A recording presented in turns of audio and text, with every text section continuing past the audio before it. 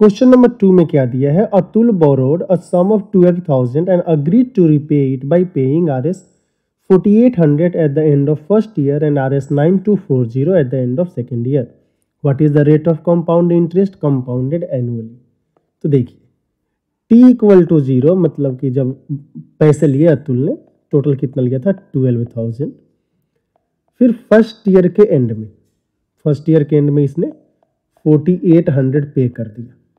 ये forty eight hundred paid है।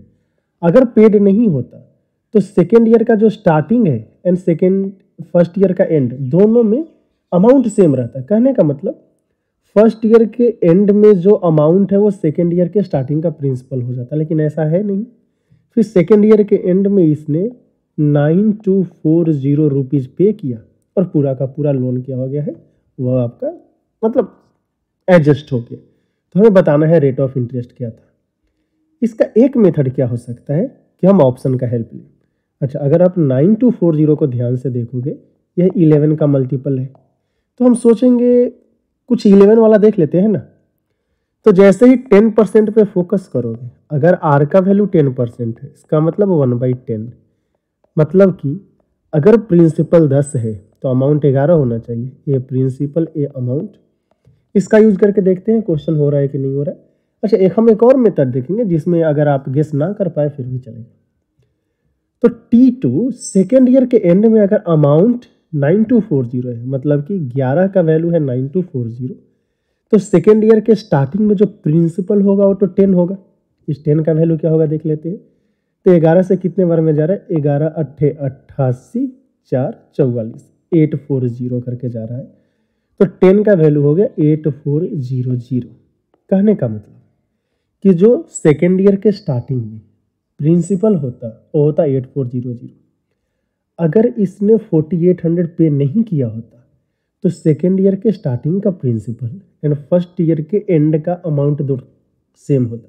लेकिन ऐसा है नहीं फोर्टी एट हंड्रेड पे किया है। अगर पे किया है तो दोनों को ऐड करके फ़र्स्ट ईयर के एंड का अमाउंट निकालना पड़ेगा।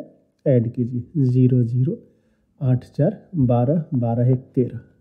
फिर फ़र्स्ट ईयर के लिए टेन एंड इलेवन। क्या अगर इलेवन का वैल्यू एक सौ बत्तीस सौ है मतलब एक का वैल्यू कितना हो गया? बारह, ज़ीरो ज़ीरो। तो क्या टेन का वैल्यू इतना आ रहा है? Twelve thousand. आंसर है कि आ रहा है तो सही है। ऑप्शन वन हो गया, नो प्रॉब्लम।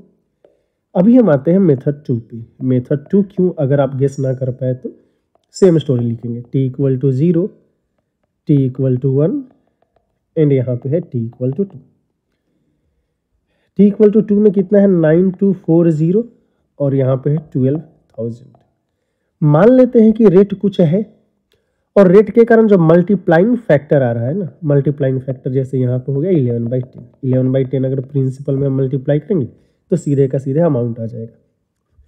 तो इसका मल्टीप्लाइंग फैक्टर हमने मान लिया है पी तो फ़र्स्ट ईयर के एंड में अमाउंट हो जाता है ट्वेल्व थाउज़ेंड पी लेकिन इसने फोर्टी एट हंड्रेड पे कर दिया नो प्रॉब्लम अगर सेकेंड ईयर के एंड में अमाउंट आपका नाइन टू फोर ज़ीरो है तो सेकेंड ईयर के स्टार्टिंग में प्रिंसिपल कितना होता? Nine two four zero by P तभी तो पी से मल्टीप्लाई करके नाइन टू फोर ज़ीरो आ रहा है. अब नेक्स्ट बात क्या है? कि ए दोनों सेम होता. Twelve hundred twelve thousand P या nine two four zero by P अगर उसने फोर्टी एट हंड्रेड पे नहीं किया होता, उसने पे किया है? तो सिनारियो ऐसा होगा कि ट्वेल्व थाउज़ेंड पी में से फोर्टी एट हंड्रेड अगर हमने माइनस किया है, तब जाके nine two four zero by P बचेगा। एक ज़ीरो से ज़ीरो ज़ीरो गया। और कट रहा है क्या? चलिए, पहले सिंप्लीफाई कर लेते। Twelve hundred P square minus four eighty P minus nine twenty four equal to zero. बारह से कट रहा है हाँ। बारह से सौ बार में गया। फोर्टी टाइम्स और सेवेंटी सेवन टाइम्स तो अपने पास आ गया है hundred P square minus forty P minus seventy seven equal to zero जो कि है। सेवेंटी सेवन अच्छा हाँ ठीक ठीक।